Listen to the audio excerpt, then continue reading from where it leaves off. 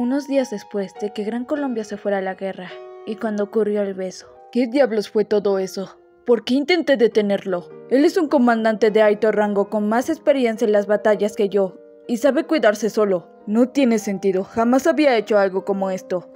Entiendo que se haya molestado, lo que dije fue muy ofensivo para él, pero...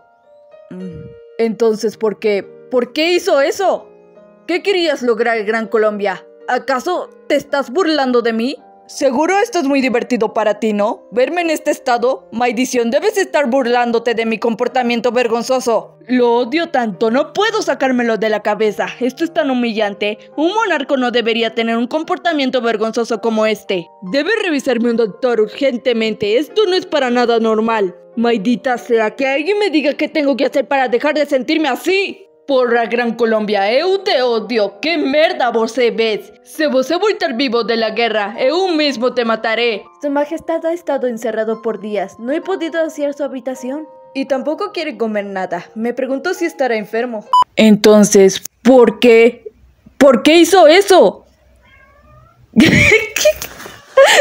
Ay, güey. Un monarca no debería tener un copar... ¿Qué?